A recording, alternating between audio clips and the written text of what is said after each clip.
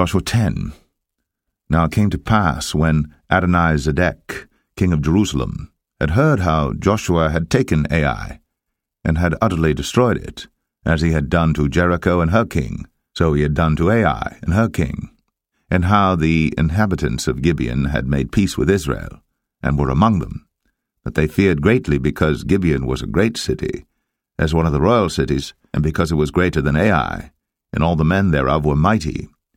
Wherefore Adonizedek, king of Jerusalem, sent unto Hoham, king of Hebron, and unto Piram, king of Jarmuth, and unto Japhia, king of Lachish, and unto Debir, king of Eglon, saying, Come up unto me, and help me, that we may smite Gibeon, for it hath made peace with Joshua and with the children of Israel. Therefore the five kings of the Amorites, the king of Jerusalem, the king of Hebron, the king of Jarmuth, the king of Lachish, the king of Eglon, gathered themselves together, and went up, they and all their hosts, and encamped before Gibeon, and made war against it. And the men of Gibeon sent unto Joshua to the camp to Gilgal, saying, Slack not thy hand from thy servants. Come up to us quickly, and save us and help us. For all the kings of the Amorites that dwell in the mountains are gathered together against us. So Joshua ascended from Gilgal, he and all the people of war with him, and all the mighty men of valour. And the Lord said unto Joshua, Fear them not, for I have delivered them into thine hand, there shall not a man of them stand before thee. Joshua therefore came unto them suddenly, and went up from Gilgal all night.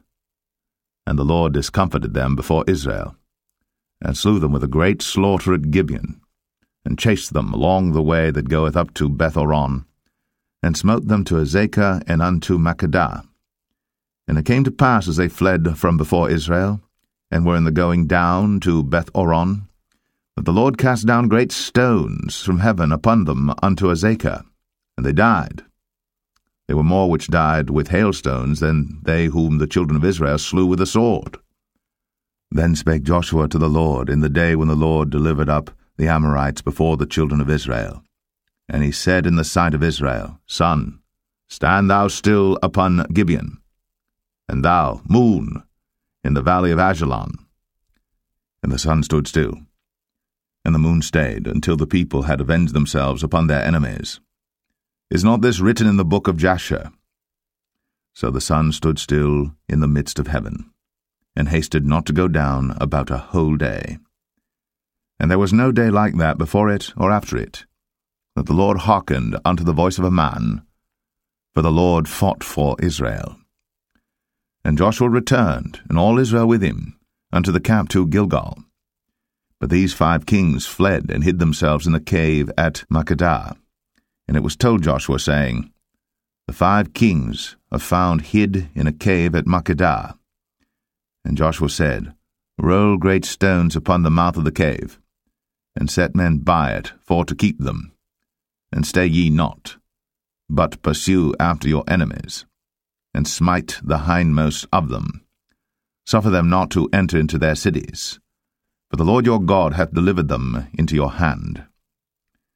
And it came to pass, when Joshua and the children of Israel had made an end of slaying them with a very great slaughter, till they were consumed, that the rest which remained of them entered into fenced cities. And all the people returned to the camp to Joshua at Makkedah in peace. None moved his tongue against any of the children of Israel.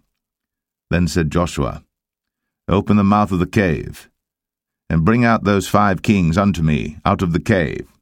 And they did so, and brought forth those five kings unto him out of the cave the king of Jerusalem, the king of Hebron, the king of Jarmuth, the king of Lachish, and the king of Eglon.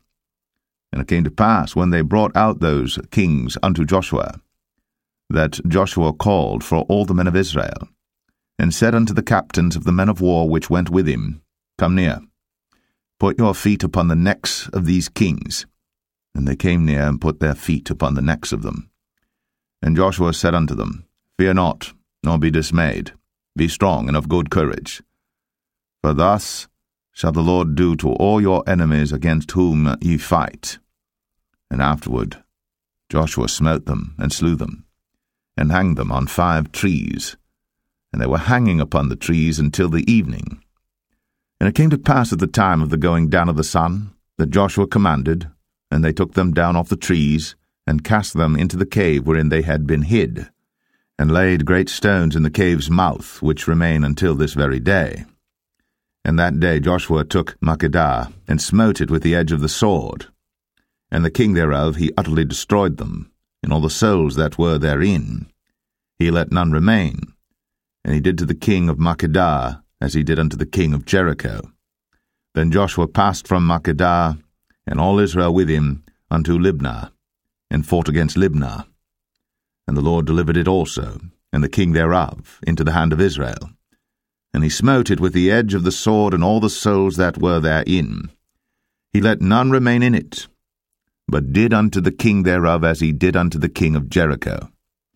And Joshua passed from Libnah, and all Israel with him, unto Lachish, and encamped against it, and fought against it. And the Lord delivered Lachish into the hand of Israel, which took it on the second day, and smote it with the edge of the sword, and all the souls that were therein according to all that he had done to Libnah. Then Horam, king of Gezer, came up to help Lachish. And Joshua smote him and his people until he had left him none remaining. And from Lachish Joshua passed unto Eglon, and all Israel with him, and then camped against it, and fought against it. And they took it on that day and smote it with the edge of the sword, and all the souls that were therein he utterly destroyed that day, according to all that he had done to Lachish. And Joshua went up from Eglon, and all Israel with him unto Hebron, and they fought against it. And they took it, and smote it with the edge of the sword, and the king thereof, and all the cities thereof. And all the souls that were therein he left none remaining, according to all that he had done to Eglon but destroyed it utterly, and all the souls that were therein. And Joshua returned, and all Israel with him, to Debir, and fought against it. And he took it, and the king thereof, and all the cities thereof, and they smote them with the edge of the sword, and utterly destroyed all the souls that were therein.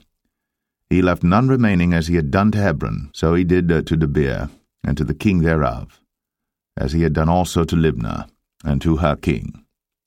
So Joshua smote all the country of the hills, and of the south, and of the vale, and of the springs, and all their kings. He left none remaining, but utterly destroyed all that breathed, as the Lord God of Israel commanded. And Joshua smote them from Kadesh Barnea, even unto Gaza, and all the country of Goshen, even unto Gibeon. And all these kings in their land did Joshua take at one time, because the Lord God of Israel fought for Israel. And Joshua returned, and all Israel with him, unto the camp to Gilgal.